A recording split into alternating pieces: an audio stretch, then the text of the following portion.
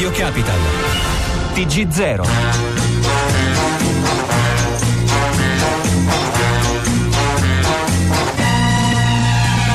Azzurro, il pomeriggio è troppo lungo, verde, alla faccia di chi ci vuole male e che ci vuole divisi e che ci vuole anche un po' incazzati. Sì, non ce la possono fare, siamo i migliori. Continua. Dei miei pensieri all'incontrario va. Ah, ai giornalisti. E questa è la voce inconfondibile di Paola Taverna che quando cantava eh, Azzurro del, del grande Celentano, ma eh, Paola Taverna che è nostra ospite questa sera in diretta. Buonasera, buonasera Paola Taverna, benvenuta a Radio Capital. Buonasera, Oh. buonasera, anche l'entrée musicale. Beh, beh, ma un po' di allegria ci vuole, dai, un un po' po' di... d'allegria, azzurro, Sì. poi ce l'ha, ce l'ha Eh, con i no, giornalisti, ero, no? Ero molto allegra quel giorno. Eh, Si andava a andando Rimini, a- quindi è una bellissima giornata. alla festa dei, dei 5 Stelle di Rimini. E oggi com'è il, il barometro del suo umore, Taverna com'è oggi? Cosa indica? Bello o brutto? Ma eh, variabile perché siamo in piena sessione di bilancio, quindi nonostante le cose positive che stiamo facendo, portando avanti il programma del Movimento 5 Stelle, eh, c'è tutta una realtà che è quella della spartizione delle mancette che sono ormai annuali, ogni legge di stabilità c'è questa... eh, L'assalto alla diligenza. delle vacche Mm. che va di qua e di là con un PD quest'anno particolarmente ricattato da Ala che ci ha fatto penare parecchio in, in commissione bilancio. Su che cosa, per Faccio- esempio? Qual- qualcosa che non, non le è piaciuta in particolare? ma, ma, ehm, a parte ALA che sono dei meccanismi più che altro legati a quelli che dovranno essere degli accordi eh, in fase di campagna elettorale, quindi di posizionamenti all'interno dei, eh, dei vari listini, eh, ci sono situazioni che lasciano un pochino l'amaro in bocca, anche quelle sbandierate come 60 milioni al caregiver, la falsa, eh, il falso eh, super ticket che viene tolto ma che in realtà non viene tolto, è sempre una questione semantica, raccontano molte cose a parole ma poi nei fatti le situazioni sono sempre molto eh, complicate, compresi Mm, i vari torbide, 80 euro torbide. che va... sì. Torbide, poco chiare e assolutamente non eh, significative per risolvere i problemi eh, della parte più fragile del paese. Quella bella significativa come le banche hanno sempre trovato un grande aiuto da questo governo, sono rimasti eh, ai margini sempre le persone più fragili, quindi questo ci lascia comunque l'amaro in bocca. Sì. Ma senatrice, di fronte a un collasso di una banca, eh, se e quando sarete al governo, il 5 Stelle che cosa farà? Le lascia, le lascia cadere? Che succede? Qual è la vostra la di... gestione, la gestione delle banche ha dei problemi atavici che sicuramente il Movimento 5 Stelle ha dato eh, delle soluzioni che erano da, da rendere strutturali all'epoca con Monte dei Paschi di Siena, nonché con tutti quelli che sono stati i vari lasciti, ma perché le trova eh, corretto l'inserimento del Belin solo per una banca e poi gli aiuti che vengono dati invece per le altre, quindi da una parte pagano i correntisti e dall'altra invece eh, ci pensa il governo. Queste credo che siano situazioni che vadano riviste alla fonte su come viene concepito il sistema bancario, su quelle che devono essere le banche eh, di affari eh, legate alla finanza o quelle che devono essere le banche legate a quelle che sono le esigenze delle persone. Io vorrei ricordare che per una persona normale, quale io ancora continuo ad essere, con le quali mi confronto, la banca dovrebbe essere un posto sicuro dove eh, mettere i propri risparmi ed eventualmente recarsi per avere un aiuto. Oggi le banche sono diventate il posto meno sicuro dove tenere i risparmi, visto che poi a seconda delle gestioni più o meno dissennate o più o meno vicine ad alcuni componenti del governo risultano essere eh, un posto dove in realtà i risparmi sono spariti. Quindi, Ah, quindi è meglio non tenere i soldi in banca se si hanno. Ma quindi è meglio riformare un attimino le banche o comunque Mm. cambiare un governo che delle banche ha fatto un pessimo uso, se Sì. non aiutare chi aveva dei soldi che doveva dare, non glieli ha fatti dare e li ha tolti a chi invece li aveva in banca e che probabilmente ne aveva tutto il diritto ad averli. Senta, eh, Taverna, visto che siamo in tema di, di- di economia e appunto la sessione di bilancio per approvare al Senato, insomma, verrà approvata la manovra, ehm, lei su cosa avrebbe puntato invece que- quei pochi soldi che ci sono magari a disposizione in questa sessione di bilancio? Su cosa avrebbe messo le risorse? Ma io sono in commissione sanità, Mm. quindi indubbiamente uno dei nostri eh, emendamenti era quello di abolire il super ticket.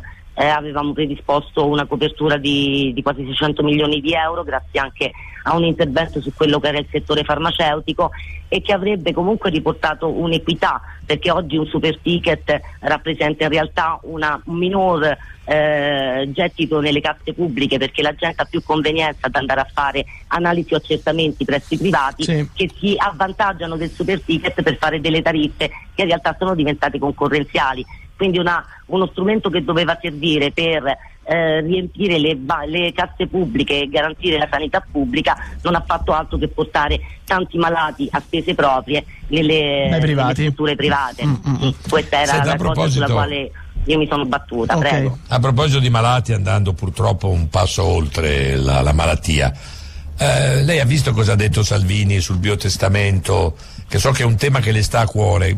Che effetto le ha fatto? Come ci è rimasta, senatrice? Io non ho, se è stato oggi. Allora, possiamo farglielo sentire, possiamo farglielo sentire senatrice? Perché sono, sono, sono, sono 20 secondi, a, a, nostro avviso, insomma, proprio mh, squalificati, però sentiamo. Più che il fine vita, io mi preoccupo della vita. A me piacerebbe che questo Parlamento si occupasse degli italiani che stanno vivendo, quindi più che di una buona morte, su cui ragioneremo, di, di una buona vita, che a milioni di italiani purtroppo non è garantita in questo momento. Però aspettiamo Renzi quando smette di smanettare su Facebook, se ci dice di che cosa si occuperà il Senato, noi commenteremo quello che farà il Senato. Insomma, ha sentito Taverna, Salvini dice noi ci occupiamo dei, dei, dei vivi. No, come sei, Credo posso... che sia un parallelismo vergognoso, mm. perché le persone che eh, oggi in qualche maniera hanno riportato gra- con, con, la loro tragedia la tema eh, eh ah, andiamo, male, eh. andiamo male ricordiamocelo sì. Mm. Ecco, ricordiamocelo che davanti a dieci anni credo che sia penoso come parallelismo, sono delle persone che hanno bisogno della tutela maggiore perché sono in una, in una questione di vita che in, non, non, sentono più come tale, quindi ci stiamo occupando dei vivi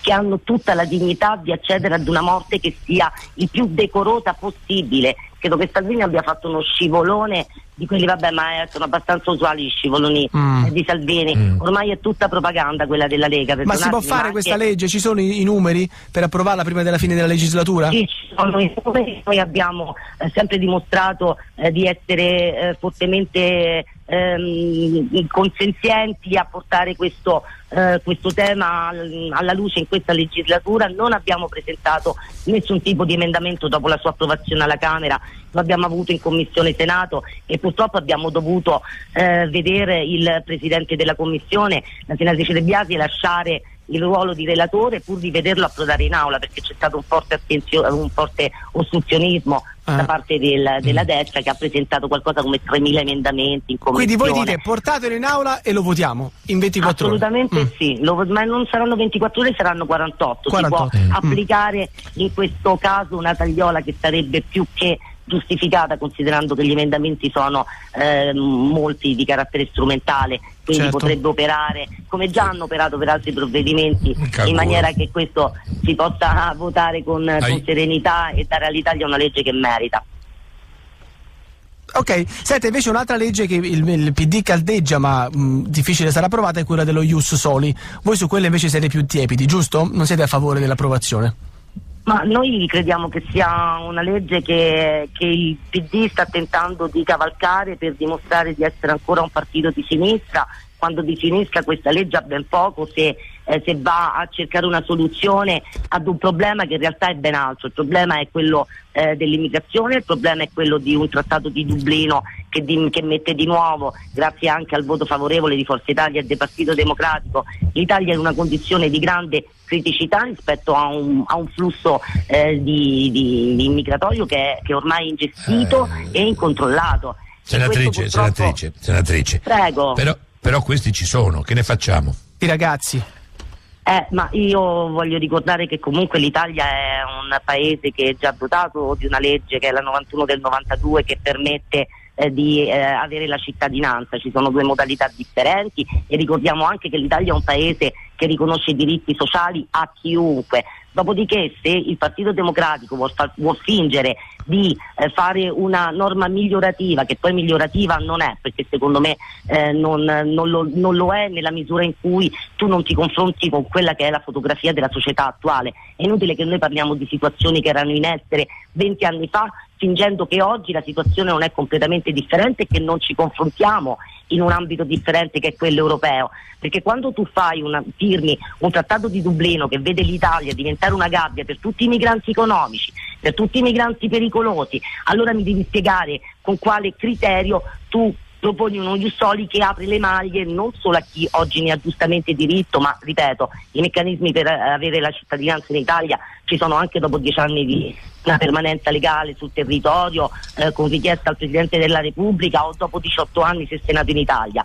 Eh, se lo fai senza guardare che cosa sta accadendo, in realtà mh, mm, è propaganda spicciola ma non risolve nessun problema chiaro, né perché chiaro. ne ha diritto mm. né perché in Italia non ci dovrebbe stare no no no è chiarissimo, chiarissimo. Senta, eh, to- torniamo no, ma è chiaro che siete contrari a questa sì, legge vabbè, l'ha detto e l'ha motivato lo sta motivando eh, senta Paolo Taverna a proposito di Sani torniamo per un attimo sulla sanità e parliamo per un momento di vaccini eh, poniamo che voi eh, vincerete le elezioni l'anno prossimo ehm, sareste orientati in qualche modo a modificare questo decreto sull'obbligatorietà dei vaccini a scuola?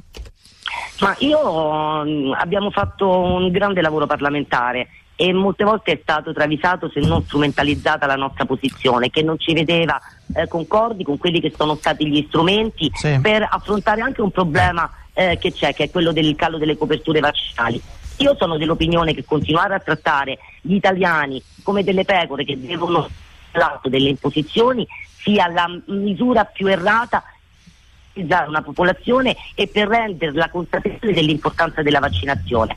Eh, ha, ha creato una spaccatura che ha reso coloro che erano scettici completamente contrari, eh, ha creato una eh, sorta di eh, divisione eh, all'interno dei plessi scolastici tra tu sei vaccinato e tu non lo sei. Eh, questa non era la maniera di operare. Quindi insomma, era una legge che doveva tornereste indietro insomma, in questo caso.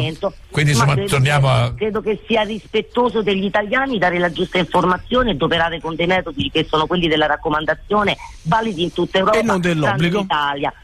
L'obbligo non è una cioè, maniera scusi, che a me piace per Senatrice, capisco. il problema. Prego. Cioè, secondo lei, prima di questa legge la gente non era informata su cosa sono i vaccini? Cioè, la gente non sapeva cosa fossero i vaccini? Perché quante campagne di sensibilizzazione sulla vaccinazione, sul problema del calo vaccinale sono state fatte in Italia prima di imporre un decreto che inserisse obbligatori 10 vaccini? Mi scusi, eh. Il decreto, stato, il decreto, è stato, imposto perché era diminuita la, la diffusione del vaccino. Il decreto è stato imposto perché ci sono state delle politiche sanitarie completamente fallimentari che hanno portato la popolazione ad avere la sensazione che i vaccini fossero una cosa ormai non più indispensabile. Se si facevano campagne informative e se si rendeva la popolazione edotta di quello che stava accadendo, probabilmente molti genitori che oggi vanno perché obbligati sarebbero andati comunque, ma non si sarebbe creata la frattura e non si, ave- non si sarebbe dovuto avere così poca sensibilità nei confronti di coloro che sono resistenti. Cioè, ma mh, mm, perché dobbiamo continuare a trattare gli italiani come delle persone che debbono subire piuttosto che comprendere? Io questa è una cosa che non accetto. Forse Rimanendo... perché non vogliono comprendere, forse perché non vogliono ma comprendere. Ma cosa vuol dire non vogliono eh. comprendere? Eh. Ma se le persone sono informate correttamente, io non credo che ci sia nessuno che non voglia o non sia in grado di comprendere. Credo che ci siano state delle politiche assolutamente fallimentari, un lassismo e una eh, distanza da quelle che erano anche le problematiche italiane che hanno poi costretto il Ministero a imporre un decreto. Ma questo è lesivo a mio avviso proprio della, del, del, rapporto che dovrebbe esserci tra istituzioni e cittadino. È chiaro. Quando noi diciamo va la bene, sensibilizzazione è un'altra sì. cosa. Senta, un'altra Taverna, cosa. Lei, torniamo alla situazione no, no, precedente. Lei, senta, lei Taverna si candiderà alla prossima legislatura? No, Zucconi, non mm. torniamo alla situazione precedente. Mi perdono, io su questa cosa voglio essere chiara.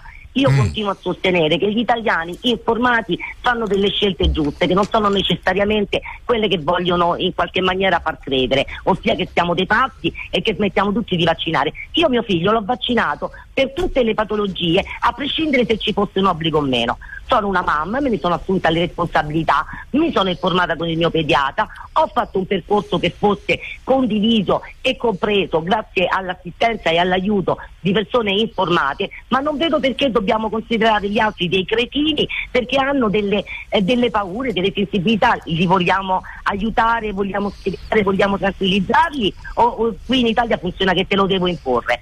Quindi lei pensa, lei pensa, senatrice, che chi non faceva vaccinare i figli eh, si comportava così per mancanza di informazioni. Questa è la sua Io ho conclusione. conosciuto molte persone che avevano delle eh, titubanze dovute alle Sì. loro situazioni personali che probabilmente se aiutati, eh, compresi con dei percorsi anche eh, personalizzati rispetto al bambino, perché può esserci anche una famiglia o un bambino leggermente più fragile, dove si può aspettare un mese di più piuttosto che eh, imporre in una determinata eh, maniera, in determinati tempi, tutta una serie di vaccinazioni, perché questo non si può fare? È così astruso, non si può raggiungere a un aumento delle coperture vaccinali con un confronto e con un'informazione? No, questo è il paese dell'obbligo. Se è obbligo così lo fai, io mi sono tolto un problema. Per noi non funziona così. Ah, chiaro, senta, ehm, senatrice Taverna, lei ha intenzione di ricandidarsi mh, alla prossima legislatura? Se vediamo sì, sì, Ah, sì, ok. sì. penso di ricandidarmi e di portare avanti un meraviglioso lavoro che stiamo facendo in sanità eh, che ha dato dei grandi risultati. Abbiamo fatto approvare una legge che cambia veramente le cose, che è quella sugli screening neonatali che si occupano dei malati rari, altra parte fragile del paese dimenticata. Quindi perché no? No, no, Se certo. possiamo essere senta, utili, ben lei, lei- lei- lei ha fatto un percorso di qualche anno insieme a Alessandro Di Battista, no? Abbiamo visto tante volte sui, sui- sui palchi, no? nei comizi, nelle Sì. vostre attività politiche. Ehm, come ha reagito quando ha saputo? Intanto Di Battista gliel'aveva detto qualcosa prima di questa sua decisione di, di non candidarsi più? Lei come l'ha Mm. vissuta questa cosa? Alessandro lo dice da, Mm. da un po' di tempo. Mm. Ah, Inizialmente pensavamo che fosse una eh, decisione che poteva cambiare, Eh, poi è nato Andrea.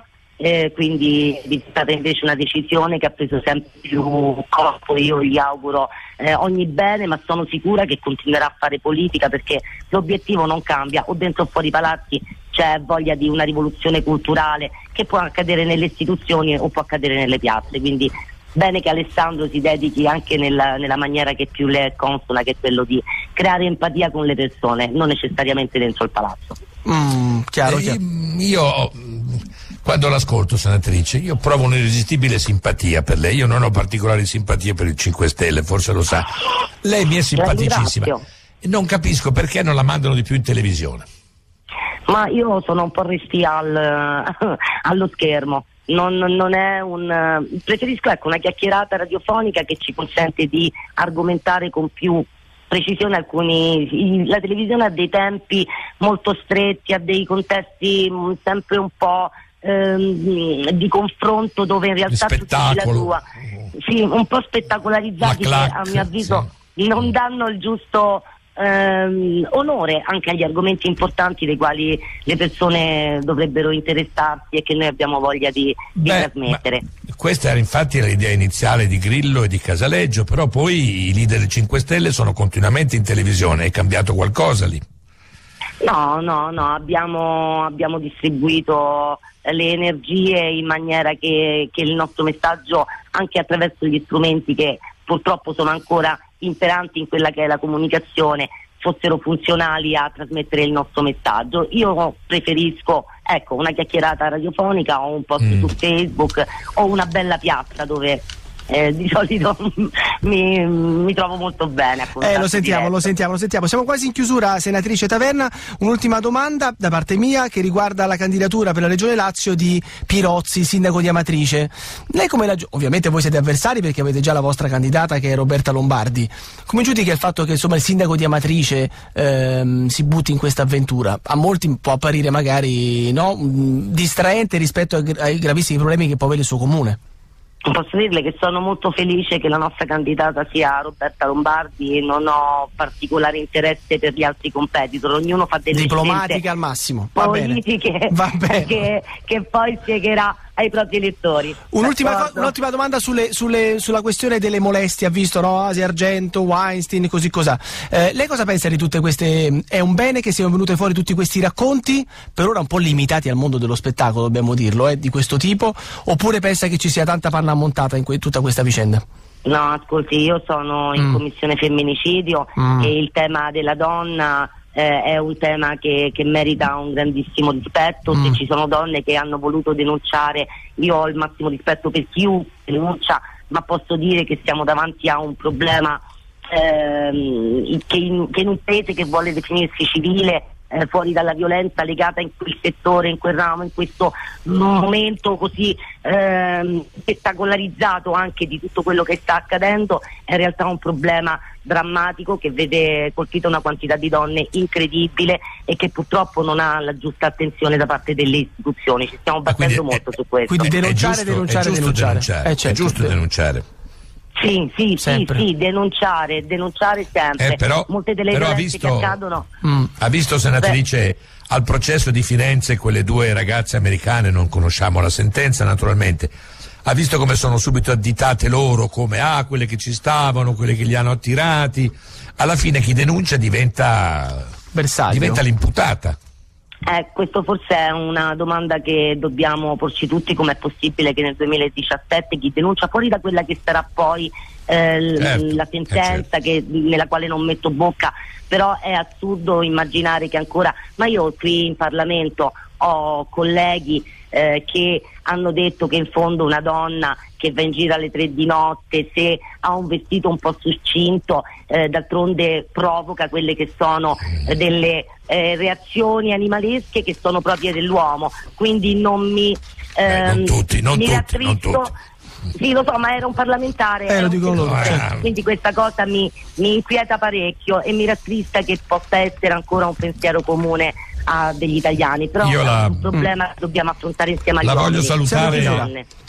Lei ha, adesso si considera una politica o continua a dire io non so politica come dissi in una famosa... eh? Posso dirle che dopo cinque anni ho, ho imparato eh. che la politica è un'arte ehm, molto importante da mettere a totale mh, disposizione dei cittadini. Quindi sono un cittadino prestato alla politica, se riesco a farla bene ne sono felice. Anche Ma ce lo dica, io so politica, ce lo dica, io so politica. Era io non so politico. Eh, me lo tolga, lo so, vabbè, so politica. Grazie Paolo Taverna, alla prossima. Grazie, Buon lavoro. buona fortuna. Buonasera. Torniamo tra pochissimo, grazie.